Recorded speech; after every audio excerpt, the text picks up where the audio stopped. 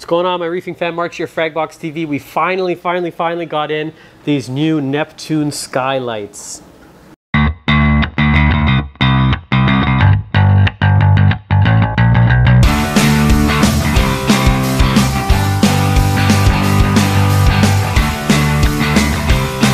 If you're new to the channel and you don't already know, we try to do a video here every single day. Another day, another video. So go ahead and hit that subscribe button if you haven't already done that. If you don't know what Neptune is, it's an awesome aquarium, controller, smart center, insurance plan for your tank. We're doing a video series on this right now as we speak. There's a lot, a lot, a lot to cover, but I'm so excited because they just dropped their new long awaited LED light. Now, I want to do an unboxing and setup video of these because one, they're awesome and I'm completely in love with that company. These ones, unfortunately, are all pre-sold to somebody here locally, but he agreed to let us hold on to them for a couple days just to check them out and talk to, to you about them a little bit.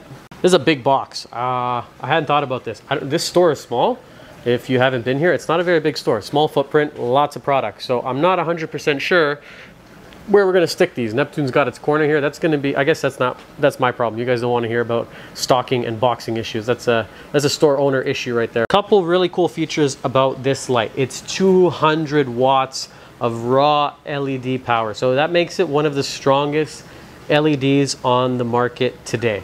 It only comes in one size, so a lot of other companies come, like they have the, uh, the Radions are quite popular. There's the 30 and the 15, so kind of the half size. Hydra 64 and 32. This one right now comes in just one size. Maybe in the future they're going to release a different size. But 200 watts of power is crazy. You're going to be able to grow whatever you want without even having to think about light as a limiting factor. Something they did that's quite interesting, instead of coming out with their own sort of mounting arms, like this is the Hydra mounting HMS, and these are the Radion RMS rails. Over here we're using a pair of XR15 Blues, I believe, along with their double RMS rail kit. So usually a company comes out with their own sort of mounting options. What these guys did is they, they made the light work with, I guess, one of the most popular mounts out there, which is the Ecotech RMS mount. So if you buy the Neptune light and you want to mount it on your glass, you actually go out and get one of these RMS 30 mounts, which are pretty good. I've never had any one of these fail. They're not cheap. They're about 150 bucks here in Canada. So I'm not sure how I feel about that. I, I, if they're both black, I guess it's going to work. One other nice feature about these though, you do not need a Neptune Apex to use it. So this is one of their standalone products. You can go out and buy the lights without having to I, you should, I think you should have an Apex system. I love Apex. I can't say enough good things about this system here, about this aquarium controller. They have a few other products that are like that. Their auto top off is one of them. The ATK is standalone, uh, I believe so, yeah. So you do not need the Apex to, bar, to use their auto top off. Their Refugium light as well is a standalone product. So that just means that you can go out, you can buy that. Everything else you need to have an Apex controller hooked up to your aquarium in order to um, in order to use it. I know a lot of people would have liked the Trident to be a standalone thing. So this measures your calcium, alkalinity, magnesium, automatically monitors, and will even talk to their doser to automate dosing of these uh, of liquids in your aquarium to maintain those levels, which is mind blowing. It's actually crazy.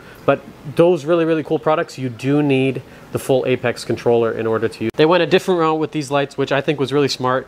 You don't need it. You can just go out and buy the light, hook it up above your tank. Now I have two spots where I think we could use it because most of the tanks here in the store are already running a light and it is quite large. So I don't think it's going to work on a nano tank. Oh, I should talk about the spread. Actually, they claim that you can do 36 by 24, which is nuts. That's like, that's some serious, serious spread. So one of these lights 36 inches across. Um, just to get an idea, like this is a 36 inch tank and we had to go quite high here with the Radions in order to get that sort of coverage so that we wouldn't go broke. We're running 10 of them.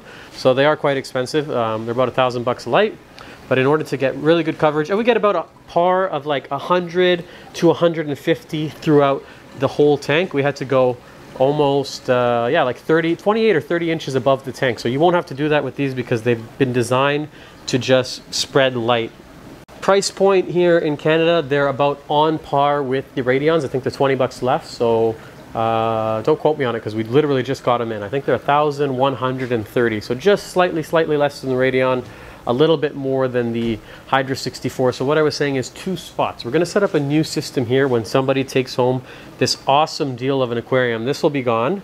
And I wanna set up, we're talking about doing a lagoon tank. So a shallow 25 from Innovative Marine with some mangroves and very cool, weird cleanup crew and fish. Not your traditional, you know, showy, nice reef tank full of beautiful corals. Like we have a few of those in the tank. This one's coming along. We have this nice 90 gallon display tank here. The reefer, the reefer 250 is looking really good, packed with coral. It's pretty much full.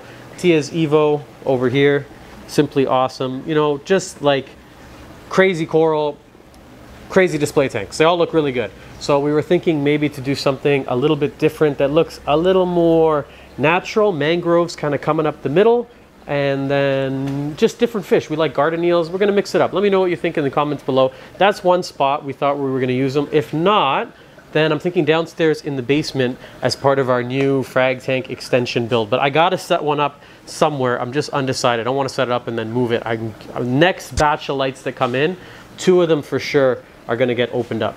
That's it for today's video, guys. I just really wanted to share these with you. So exciting. Anytime a new light like this gets dropped, it's exciting. It's good for the industry, creates competition, and, and I think it keeps these companies kind of on their toes by having different companies come out with like monster lights, like something like this. It's a really big new player into the LED lighting game, and we love to see it. It's exciting, and it doesn't happen very often. This is big news in terms of aquarium equipment. But that's it for today's video. If you like the content, please subscribe. We strive to do a video every single day here at Fragbox TV. Thanks for watching this episode.